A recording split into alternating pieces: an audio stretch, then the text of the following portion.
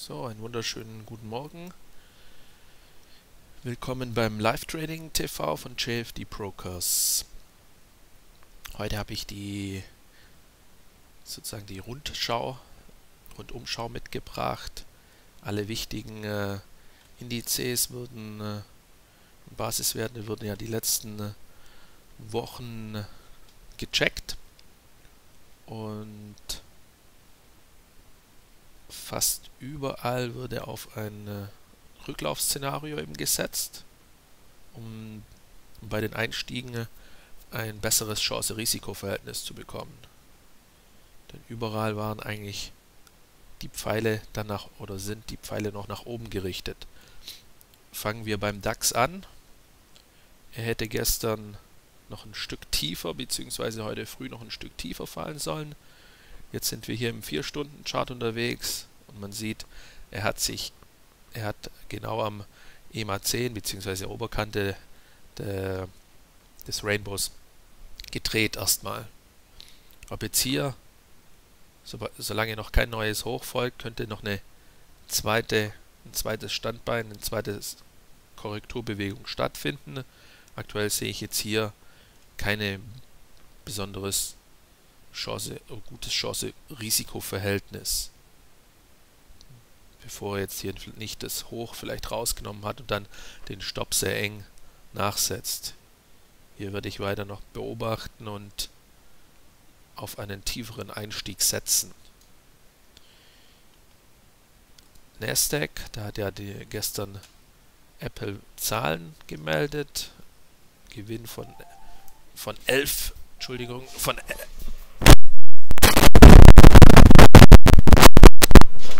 von 11 Milliarden erwirtschaftet pro Quartal. Und hier könnte jetzt ja womöglich das Ziel jetzt direkt angelaufen werden. Oder eben auch, hier gibt es auch immer noch die Alternative, ohne ein richtig neues Hoch wäre der Anlaufbereich ja schöner und harmonischer. Im Dow Jones Index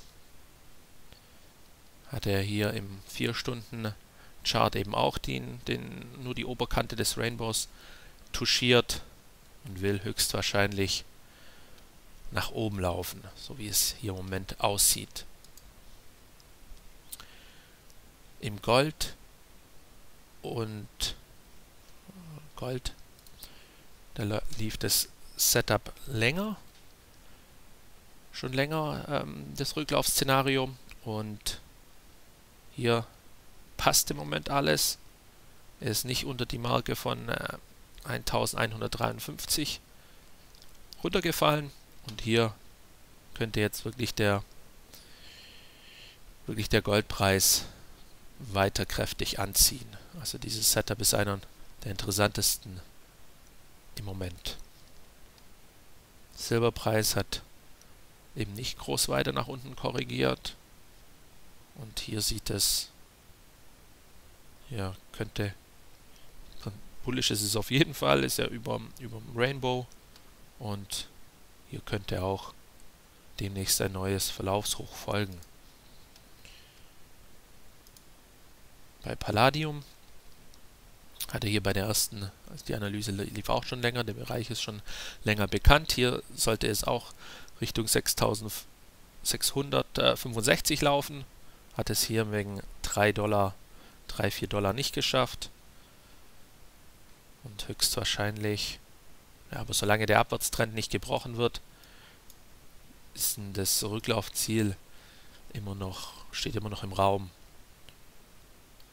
Doch solange, äh, doch sobald der Kurs über den EMA 200 und über die Abwärtstrendlinie hinausläuft, wird sich dieses Kurs, äh, dieser Korrekturbereich hat sich dann dadurch erledigt.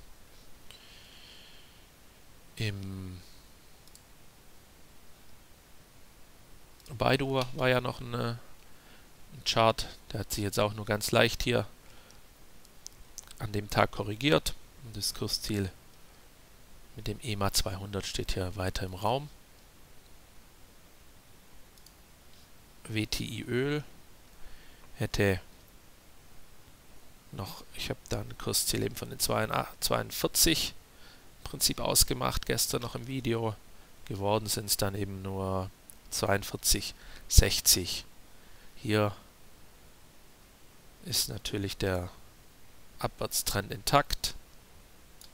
Man könnte hier den, den Stopp an diese Abwärtstrend, äh, wenn wer short ist, an den Abwärtstrend legen. Ähm, brennt habe ich hier mitgebracht noch. Da war das ja so, dass es hier lange gehalten hat. Das könnte man jetzt hier schon als kleinen Fehlausbruch interpretieren und steht aktuell jetzt an der ehemaligen Unterstützung Stützungsbereich, was als, was als Widerstand jetzt natürlich fungiert. Also hier sehe ich jetzt kein großes Potenzial erstmal mehr nach unten. So, was haben wir noch? Haben wir noch die, die zwei schönen Indexe, die asiatischen Indexe dabei. Da ist der Nikkei. Ob er jetzt hier mir den Gefallen tut, ähm, Richtung 18.500, äh, 18.400 zu fallen. Ja, stellt sich halt die Frage, ob er dem, mir den Gefallen macht. Also hier wäre wirklich ein schöner Einstieg möglich, um an der und am Aufwärtstrend hier weiter zu partizipieren.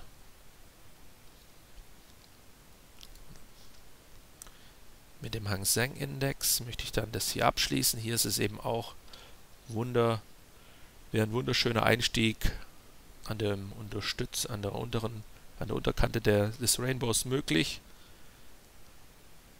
um eben, sollte sich dann hier gleich sofort eine Umkehrkerze ähm, ausbilden, wäre es möglich, den Stopp direkt dann hier hochzusetzen.